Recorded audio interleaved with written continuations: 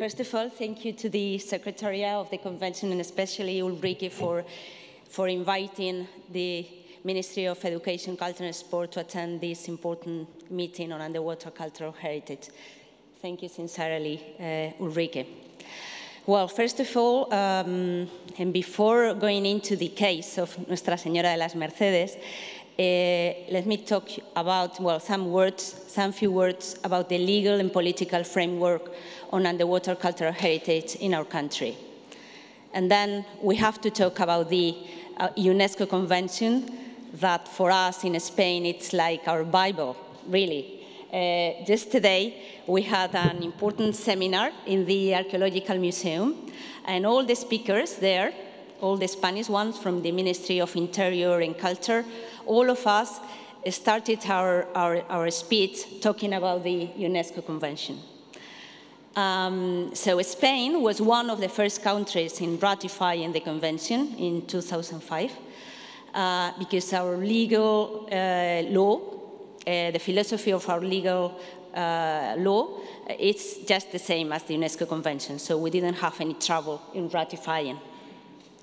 And so after ratifying this text, uh, there was an ongoing commitment to defend, study, and protect this cultural heritage.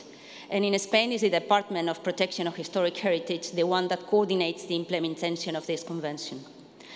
Afterwards, in 2007, uh, the Spain's Council of Ministers transformed the commitment made by the ratification of the, of the convention into an effective and well-planned actions in, uh, that it's uh, in the National Plan for Protection of Underwater Cultural Heritage.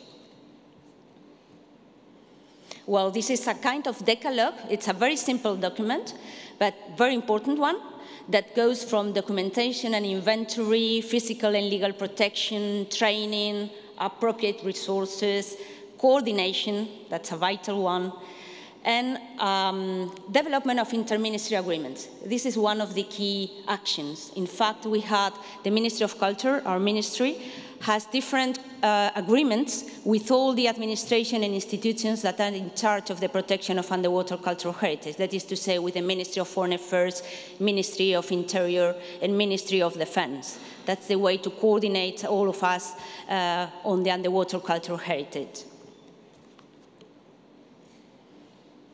And afterwards, um, the Council of uh, the Historical Heritage Council, which is the um, body that coordinates the, the, the, the, the, uh, the cultural issues, the, the, historical heritage issues between our autonomous communities, that is like the regions, and the states, uh, we decided to, to establish a working group to draft the so-called uh, Green Book of underwater cultural heritage.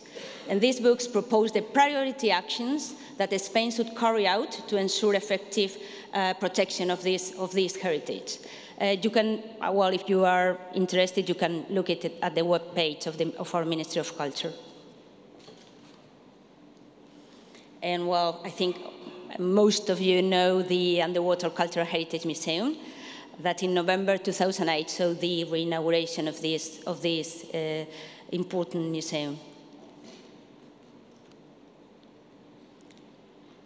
And we have uh, recently, we have opened a new conservation and restoration laboratory. Uh, you have some images here. Well, just to say that the first meeting of the scientific and technical advisory body was uh, taken place in, at, the, at this museum, at the Underwater Cultural Heritage Museum. And in October, the International Congress, IKUWA, um, uh, was held uh, at, this, at this museum. I guess some of you were there. Well, and then the case. Um, these uh, few words about our legal and political framework was important in order to understand uh, why our Minister of Culture acts so quickly and so determined to, to go against this, uh, this uh, firm uh, and, and, and was to decide to start the process against them. The case of Nuestra Señora la Mercedes, in fact, was a turning point in the area of legal defense of underwater cultural heritage against treasure-hunted enterprise. In fact, it was the first time that a country uh, decided to, to loot, to, to, to, fight against a treasure company uh, to the court.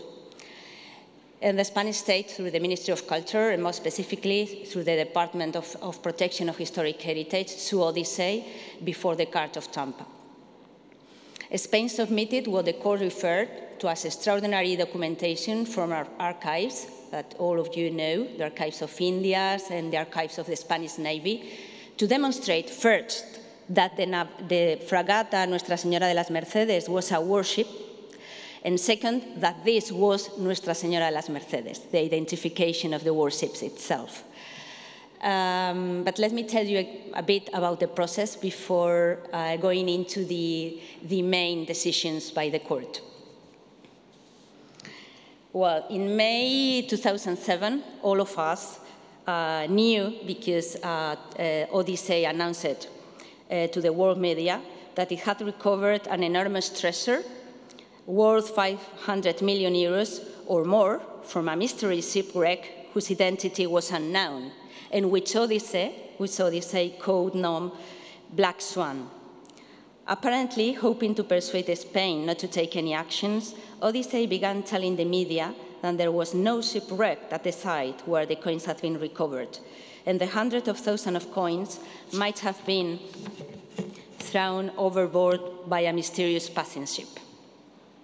Within a month, documents in the archives of the Indias, the Navy, and the Royal Academy of History were located that contain enough evidence to begin an intervention in the USA courts to assert that the Black Swan was actually a Spanish ship. This evidence allowed Spain's team to convince the USA court to order Odyssey to provide access to its photographs and video of the site and to allow a Spanish team of experts to inspect the coins and other artifacts that were in storage in the USA. Inspections of the photographs, videos, and artifacts taken to the USA immediately confirmed that they matched the cannons, equipments, and cargo of the Mercedes.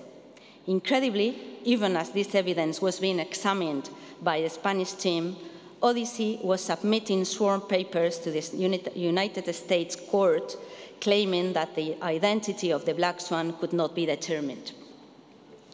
As the historical record of the Mercedes was assembled from, from the Spanish archives for presentation to the court, the key factors become clear, as I have already said. Nuestra Señora de la Mercedes was a war frigate on active duty on an official royal mission to transport national resources in peninsular Spain from the Americas. Mercedes was sunk by a catastrophic explosion during an attack by the British Navy. Mercedes has a vital role in Spanish history because her destruction and sinking left King Carlos IV with no choice but to declare war on Great Britain. Here you have some, some images of the director of Odyssey, Greg Stemm, with the coins. And before going into the, the main decision, let me tell you the principal legal, eh, legal and factual points that were central to the decisions that were taken by the American court. First, the evidence that Spain had assembled proved to absolute certainty that the Black Swan was the Mercedes. The court declared that Odyssey had engaged in bad faith denial of the existence and identity of Spain's Mercedes. Second, the Mercedes was on active service as a ship of state and remains entitled to the sovereign immunity that all nations are required to grant ships of state. Third, Odyssey's activities at the shipwreck site irreparably disturbed a Spanish national archaeological and historic site. Fourth, the Mercedes sovereign immunity include all of the cargo that Mercedes was carrying, including the shipment registered by particulares. Fifth, Odyssey was ordered to return to Spanish custody every artifact that Odyssey had taken from the Mercedes. And finally, Odyssey had no right to any payment or compensation for the coins and other artifacts removed without authorization by Spain. So, well, as you can see, the, the legal principles were, were very, very clear. And the report and recommendation also. All of them ruled in favor of Spain. This is really an international legal precedent. The first one was in June 2009 and of course, it's a very big decision. I, have, I, have, only uh, uh, put in the screen some of the beautiful sentences because the, the style of the jazz, it, it's, it's written in a very nice way. Uh, as you can see here, it says, uh, more than 200 years have passed since the Mercedes exploded. Her place of rest and all those who perished with her, that fateful day remained undisturbed for the centuries until recently international law recognizes the solemnity of their memorial and Spain's sovereignty interest in preserving it. The second one, because the, the, the first one had no force of law, this was an order. This uh, has legal, this is a legal order. Um, it was in December 2009, and the judge just said the same that the other one just, have already said, and it ordered Odyssey to release the recovered rest to the custody of Spain. But then Odyssey continue, continue with the process and try to, to, to go to any court. So uh, they even went to the United States Court of Appeals, but the appeal was rejected, rejected by this tribunal. And even uh, went for petition for certiorari. I, I, guess there are some Americans here and they know what it means, and it's very strange to go to the Supreme Court. That's what our uh, James Goold um, said that the, very, the, the, Supreme Court in very few cases uh, accept the petition for certiorari, like 5% of the cases that are presented are accepted by the, by the Supreme Court. So obviously the petition was rejected also. And then we had this uh, final resolution in 2013. We were very happy with it, we must say because we, we have discussed it with our lawyer also, if it was possible to, to, to have this, uh, to, re, to, to claim for a fine to Odyssey, really, because uh, they have looted on a Spanish site. And he told us that it was very difficult also to get a fine, but we should try. I think it was easier because of the attitude of Odyssey during the process, because the, the attitude was terrible and the court was really angry with Odyssey. And you can see it here because it is set in the decision. And they, they, they say, as you, as, you, as you can see in the screen, United States court find Odyssey for continued frivolity and bad faith through the litigation, as it has refused to identify the wreck and exhausted all the appeals despite knowing that it was indeed Nuestra Señora de las Mercedes and defiantly resisted the ruling of the courts. So it, was, uh, it is quite clear, the, the, the declaration of the, of the tribunal. But then uh, we have to cope with a difficult task, which was the return of the artifacts. Um, fortunately, we have already asked the, the, the, court if we could go there to see the cargo because we, we have to verify that the cargo was there. And the court accepted it, and so we could go uh, two times there, and there it was, the cargo. A huge cargo, incredible. This, this was a really titanic mission, really, really because it was, uh, uh, we could manage to do it in two and a half day, which is a record time. Um, the thing is that the strategy was already prepared because the two times we were there, we were thinking about how to do it.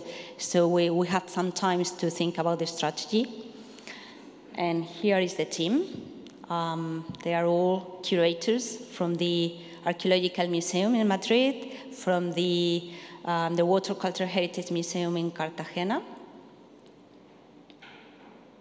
Here, well, our, our lawyer, James Goold, our hero. Here are some images um, trying to do the inventory that was already started when we went the, from the very first time. Here you can see that the, some of the coins were really ready to be sold.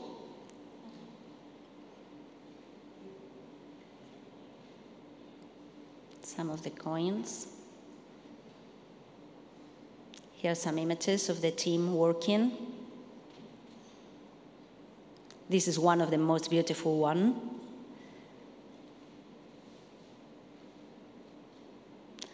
There were lingots also, very uh, heavy ones.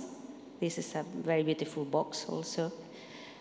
And afterwards, after the returning of this uh, incredible cargo that you can um, maybe see, uh, well, I will show you the uh, total, the result of the count, in order you to, to know the, the, the huge cargo. Uh, it, it, was uh, like um, 570 containers weighing between 40 and 50 kilos. So you can see it was a huge, huge cargo and difficult, difficult task.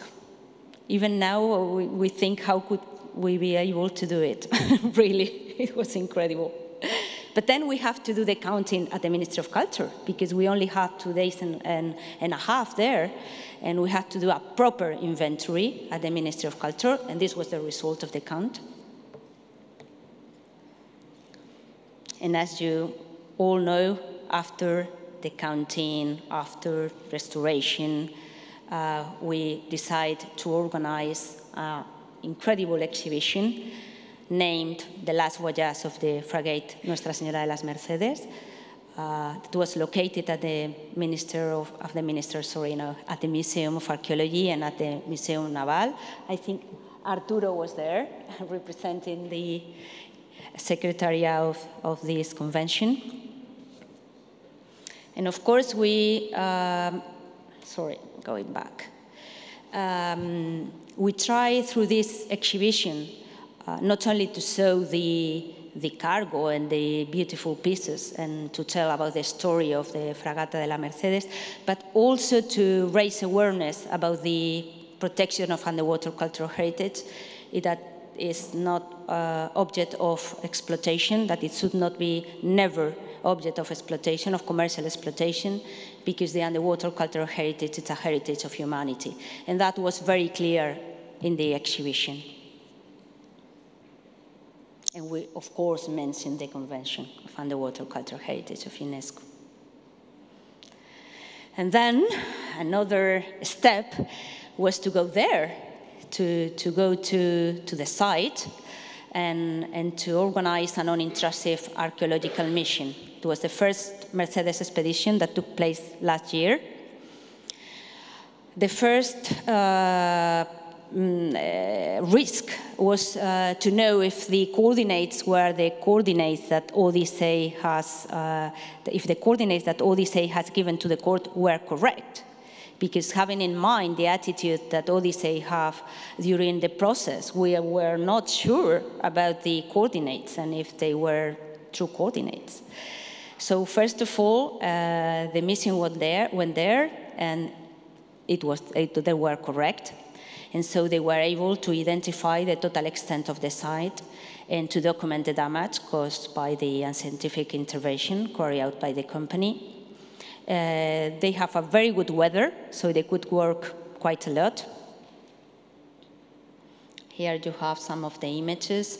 Uh, we, in order to do this mission, we had to to be uh, well. We, we had this this incredible ship you can see there. Um, it comes from the Institute, uh, Oceanographic Insti Institute. And as you can see there, well, the force succeeded in finding the exact location. Um, the most difficult task was to do a survey that was conducted uh, 102, uh, 1,200 meters under the sea, which is a record in the field of underwater cultural heritage.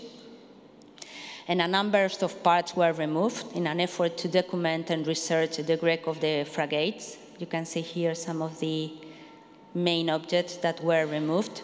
One of the most beautiful one is the, obviously the one you have on the left, the golden one. And then uh, we have a print and digital publication, which is in Spanish and English. I have brought with me some of the some of the books, just if you want to take a look. I see yes. and of course, I will give one of them to, to the Secretary of the Convention, to Rike, with pleasure. And then we, we have two videos. Uh, I didn't have, well, I didn't bring it with me because we, uh, we didn't have time, we don't have time. Uh, there are a lot of lectures today, so uh, one of 10 minutes and another one of 20 minutes, and, and it is in Spanish, so it was not worth to bring them with me. And then we have a second expedition just last week. So I don't have photographs of this one because the, uh, we don't have official photographs. The weather was not so good as last year. Unfortunately, this expedition last, uh, was going to last more than last year, but they only could work during a weekend because the, the weather was terrible, really terrible. So um, I just show you some of the kind of artifacts that have been removed. They had got to complete the plates and spoons, and uh, I think it's like 42 objects of this uh, kind, this type. And uh, finally, they, they, they got the, the part that matches with the golden one. I don't know the name of English of this specific object, but the, the one that is down of that one, that matches with it, that one, uh, they, they got to remove it. And thank you very much. That's all.